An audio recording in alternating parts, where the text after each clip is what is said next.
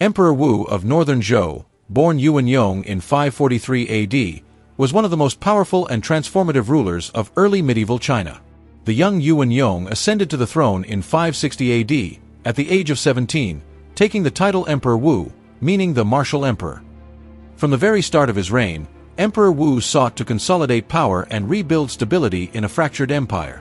He curbed the influence of the powerful noble families and replaced them with loyal officials and capable commoners. He was an authoritarian. Emperor Wu's military campaigns defined his legacy.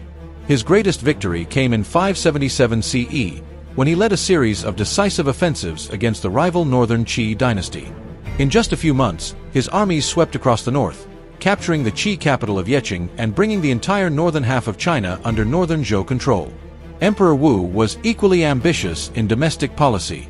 He worked to simplify the legal system, improve agricultural production, and implement a military agricultural colony system, known as Tuntian, which allowed soldiers to cultivate land and support themselves on the frontier.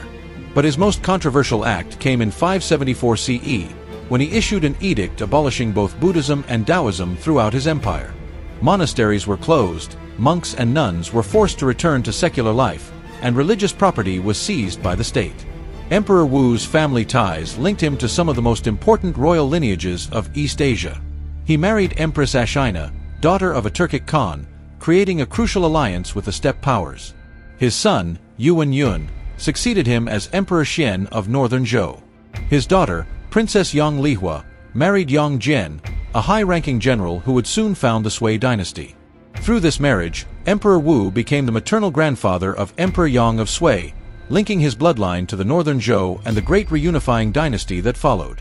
Emperor Wu died in 578 CE at the young age of 35, shortly after completing his campaign against northern Qi. His death marked the beginning of instability, his successor, Emperor Xuan, proved erratic and impulsive, and within a few years, Yang Jian took control of the empire. In 581 CE, Yang Jian proclaimed himself Emperor Wen of Sui, completing the reunification that Emperor Wu had begun. For this video, I gathered the raw genome of Emperor Wu from a 2024 study, Ancient Genome of the Chinese Emperor Wu of Northern Zhou.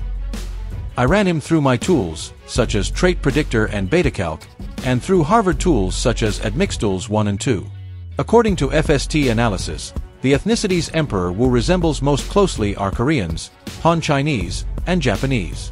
According to this PATA model, the majority of Emperor Wu's ancestry comes from the Yellow River Neolithic farmers, although he does additionally have around 11% Amur River hunter-gatherer ancestry and 21% West Siberian ancestry breaking his ancestry down into ethnic groups which would be relevant to the time period he is from, he ends up being roughly 23% Xiongnu derived, derived with the rest of his ancestry aligning with the Han Chinese. Refer to the 2D PCA chart I created using my tool, MagePlot. I used an FST matrix table generated by Admixtools 1 for this analysis. Here you can notice the cline from pure East Asians, such as the Japanese and Koreans, to Central Asian populations, such as the Uzbeks, Mansi, and Bashkirs. Additionally, you can also note the cline from Siberian populations, such as Yakuts, which themselves fall on the East Asian Central Asian cline, to Native Americans, represented by Karitiana here, who are very divergent from Eurasians due to severe inbreeding and genetic drift. On this 2D PCA chart, Emperor Wu plots just east of Kazakhs. In fact, based on this plot, Kazakhs plot intermediate between Emperor Wu and Uzbeks. I made a phylogenetic tree based on this FST matrix. According to this phylogenetic tree, the Karitiana make a separate cluster on their own. The Russians fall into the general cluster of Eurasians, however, separate from the East Eurasians and populations with significant East Eurasian admixture. Central Asians all cluster within one another, with Mansi, Uzbeks, and Bashkirs making one cluster, and Kazakhs together with Emperor Wu making another the Siberians and East Asians make their own cluster. It is very revealing that Emperor Wu fell in the Central Asian cluster, and not in the Siberian or East Asian one.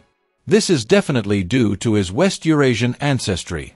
I used my automatic population modeling tool within MagePlot to find divergent populations and model the rest as a mixture of these divergent populations.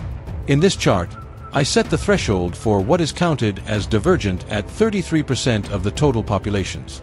This means that at least one-third of all the populations will be counted as divergent. According to this plot, Emperor Wu is one of the divergent populations. According to this plot, Uzbeks can be modeled as a mixture of 66% Emperor Wu and 33% Russian. According to this plot, the Japanese can be modeled as 68% Emperor Wu, 25% Nganasan, and 5.9% Eskimo. According to this plot, the West Siberian Mansi can be modeled as 47% Emperor Wu, 21% Nganasan, and 31% Russian. According to this model, the Bashkir are a simple two-way split between Emperor Wu and Russians. According to this model, the Kazakhs are 93.75% Emperor Wu, 3.8% Nganasan, 1.8% Eskimo, and 0.5% Russian. I made another plot, but this time I set the divergency threshold to 35%. According to this plot, the Uzbeks can be modeled as 75% Bashkir and 25% Emperor Wu. The Yakuts can be modeled as 41% Nganasan and 58% Emperor Wu. The Kazakh can be modeled as 81% Emperor Wu, 14% Bashkir, and 5% Nganasan. The Han can be modeled as 72% Emperor Wu, 22% Nganasan, and 4% Eskimo. Similar models work for the Koreans and Japanese. Now let's move on to his trait predictor results. Emperor Wu was predicted to have dark brown eyes, black hair, light brown skin, curly hair, and a snub nose shape.